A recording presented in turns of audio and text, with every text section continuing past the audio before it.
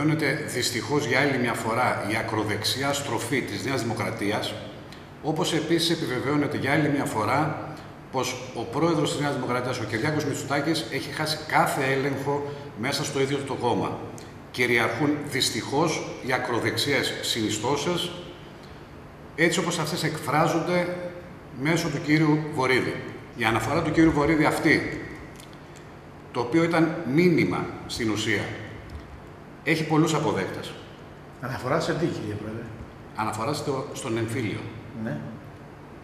Σε αυτές τις σκοτεινές και μαύρες στιγμές της ιστορίας της Ελλάδας.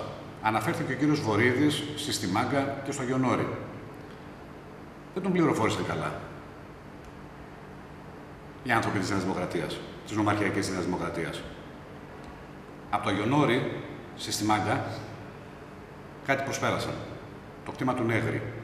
Θα πρέπει να πληροφορήσουν ότι εκτός από τη Στιμάγκα, εκτός από το Αγιονόρι, υπάρχει και το κτήμα του Νέγρη, κύριε Στεφανία.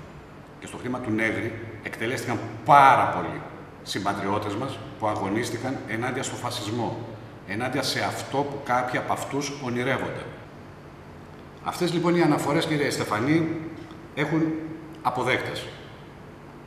Ο πρώτος αποδέκτης είναι ο ίδιος ο πρόεδρος της Νέας Δημοκρατίας, ο Κυριάκος Μητσοτάκης.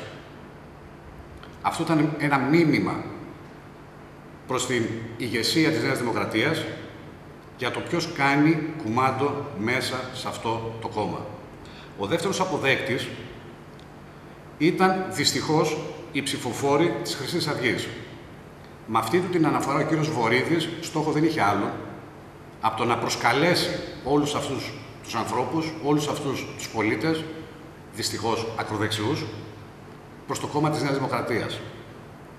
Αυτό όμως δεν μπορεί παρά να αποτελεί και ένα μήνυμα με αποδέκτη την κυρία Γεννηματά.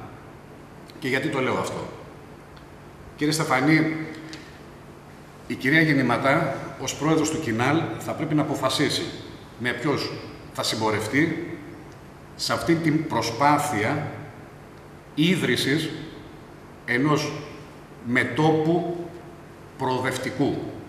Σε αυτόν τον σχηματισμό του προοδευτικού πόλου που πολλές φορές αναφέρουμε, η κυρία Γεννηματά σε αυτή την πορεία θα πρέπει να αποφασίσει με ποιους θα πάει και ποιος θα αφήσει. Θα συμπορευτεί με τις προοδευτικές δυνάμεις του τόπου ή θα συμπορευτεί με τις ακροδεξιές συνιστώσεις του κύριου Μεσοτάκη. Κύριε Γραμματέα, πιστεύετε ότι οι δηλώσεις του κύριου Βορύδη είχαν άλλο στόχο; Σαφέστατα κύριε Σταφάνη. Ο στόχος του κύριου Βορύδη ήταν μάλλον να διορθώσω και να σας πω ότι κατά την άποψή μου τουλάχιστον είναι ήταν ο κύριος Βορύδης παρουσίασε μια ιδεολογική πλατφόρμα. Μια ιδεολογική πλατφόρμα για την επόμενη μέρα. Για την επόμενη μέρα από τις εθνικές εκλογές. Η επόμενη μέρα από τις εθνικές εκλογές για τη Νέα Δημοκρατία θα είναι δύσκολη. Ο κύριος Βορύδης απλά έδωσε το παρόν. Αυτό έκανε. Ήταν μια επίδειξη δύναμης του κύριου Βορύδη.